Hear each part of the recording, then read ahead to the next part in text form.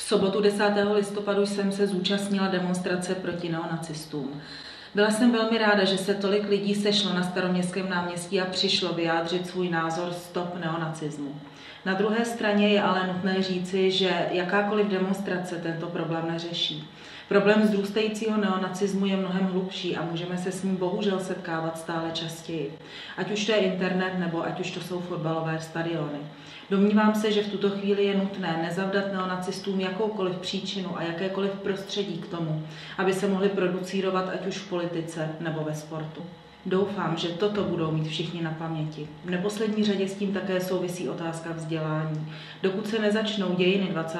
století vykládat tak, jak skutečně byly, dokud budou učebnice ideově zabarveny nebo dokud budou mít učitelé obavy vykládat o svých nedávných zkušenostech, tak ten neonacismus bude neustále vzrůstat a nic se nezmění.